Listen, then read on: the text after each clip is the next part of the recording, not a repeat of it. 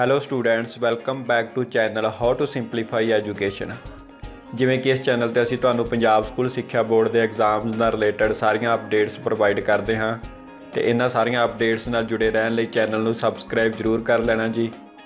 ਤੁਸੀਂ ਵੀ ਸਾਨੂੰ ਕਮੈਂਟ ਕਰਕੇ ਜਰੂਰ ਦੱਸੋ ਤੁਸੀਂ ਕਿਹੜੀ ਕਲਾਸ ਦੇ ਪੇਪਰ ਦੇਣੇ ਹਨ। ਤੇ ਜੇਕਰ ਤੁਹਾਨੂੰ ਪੇਪਰਾਂ ਦੇ ਸੰਬੰਧ ਵਿੱਚ ਨੋਟਸ ਚਾਹੀਦੇ ਹਨ, ਤਾਂ ਸਾਨੂੰ ਕਮੈਂਟ ਕਰਕੇ ਜਰੂਰ ਦੱਸੋ ਜੀ। ਅਸੀਂ ਤੁਹਾਨੂੰ ਨੋਟਸ ਪ੍ਰੋਵਾਈਡ ਕਰ ਦੇਵਾਂਗੇ। ਤੇ ਜੋ ਨਵੀਂ ਅਪਡੇਟ ਨਿਕਲ ਕੇ ਆ ਰਹੀ ਹੈ, ਇਹ 10ਵੀਂ ਤੇ 12ਵੀਂ ਦੇ ਪੇਪਰਾਂ ਨਾਲ ਰਿਲੇਟਡ ਇਹ ਅਪਡੇਟ ਆਈ ਹੈ ਜੀ, ਜਿਹਦੇ ਵਿੱਚ ਜੋ 20 ਮੈਂਬਰ ਐਕਸਪਰਟ ਕਮੇਟੀ ਹੈ, ਉਸ ਵੱਲੋਂ ਆਪਣੇ ਸੁਝਾਅ ਦਿੱਤੇ ਗਏ ਹਨ। ਤੇ ਸੁਝਾਅ ਇਹ ਦਿੱਤੇ ਗਏ ਹਨ ਕਿ ਜੋ 10ਵੀਂ ਦੇ ਪ੍ਰੀ ਬੋਰਡ ਐਗਜ਼ਾਮ ਹਨ, ਉਸੇ ਦੇ ਆਧਾਰ ਤੇ ਰਿਜ਼ਲਟ ਤਿਆਰ ਕੀਤਾ ਜਾ ਸਕਦਾ ਹੈ ਤੇ ਜੋ 12ਵੀਂ ਦੇ 70% ਪੇਪਰ ਹੋ ਚੁੱਕੇ ਹਨ ਤੇ ਬਾਕੀ ਰਹਿੰਦੇ ਪੇਪਰਾਂ ਨੂੰ ਜ਼ਿਆਦਾ ਸੈਂਟਰ ਬਣਾ ਕੇ ਸੋਸ਼ਲ ਡਿਸਟ੍ਰਿਕਟਸ ਦੇ ਨਾਰਮਸ ਦੀ ਪਾਲਣਾ ਕਰਦੇ ਹੋਏ ਉਹ ਪੇਪਰ ਲਏ ਜਾ ਸਕਦੇ ਹਨ।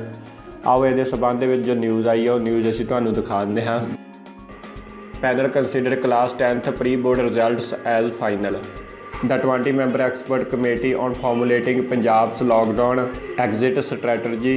in its report submitted to CM on Monday recommended to Punjab School Education Board to allow the students to declare the result of the class 10th students board on pre-board examination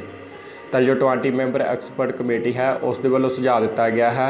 ਜੋ 10ਵੀਂ ਦਾ result ਹੈ ਉਹ pre board exams ਦੇ ਆਧਾਰ ਤੇ ਤਿਆਰ ਕੀਤਾ ਜਾ ਸਕਦਾ ਹੈ ਜਿਸ ਨਾਲ ਸਟੂਡੈਂਟਸ ਅਗਲੀ ਕਲਾਸ ਲਈ ਪੜ੍ਹਾਈ ਸ਼ੁਰੂ ਕਰ ਸਕਦੇ ਹਨ ਤੇ ਸਕੂਲ ਵੀ ਉਹਨਾਂ ਨੂੰ ਦਾਖਲਾ ਦੇ ਸਕਦੇ ਹਨ For the class 12th, the committee said that since 70% papers have already been conducted, the board could consider to hold the remaining exams by creating more centers, keeping in view the social distancing norms. ਤੇ ਜੋ 12ਵੀਂ ਵਾਲਿਆਂ ਦੇ ਸੁਝਾਅ ਦਿੱਤਾ ਗਿਆ ਹੈ ਜਿਵੇਂ ਕਿ ਉਹਨਾਂ ਦੇ 70% ਪੇਪਰ ਹੋ ਚੁੱਕੇ ਹਨ ਤੇ ਬਾਕੀ ਰਹਿੰਦੇ ਪੇਪਰ ਜ਼ਿਆਦਾ ਸੈਂਟਰ ਕ੍ਰੀਏਟ ਕਰਕੇ ਸੋਸ਼ਲ ਡਿਸਟੈਂਸ ਦੇ ਨਾਮ ਦੀ ਪਾਲਣਾ ਕਰਦੇ ਹੋਏ ਲਏ ਜਾ ਸਕਦੇ ਹਨ It has also been recommended that all education institutions must complete preparatory work to conduct the examinations on any date after May 15 ਤੇ ਕਮੇਟੀ ਦੁਆਰਾ ਇਹ ਵੀ ਸੁਝਾਅ ਦਿੱਤਾ ਗਿਆ ਹੈ ਐਜੂਕੇਸ਼ਨ ਇੰਸਟੀਟਿਊਸ਼ਨਸ ਨੂੰ ਆਪਣੀਆਂ ਤਿਆਰੀਆਂ ਜਾਰੀ ਰੱਖਣੀਆਂ ਚਾਹੀਦੀਆਂ ਹਨ ਤੇ ਜੇਕਰ 15 ਮਈ ਤੋਂ ਬਾਅਦ ਪੇਪਰ ਲੈਣ ਦੀ ਸੰਭਾਵਨਾ ਬਣਦੀ ਹੈ ਤਾਂ ਪੇਪਰ ਲਏ ਜਾ ਸਕਦੇ ਹਨ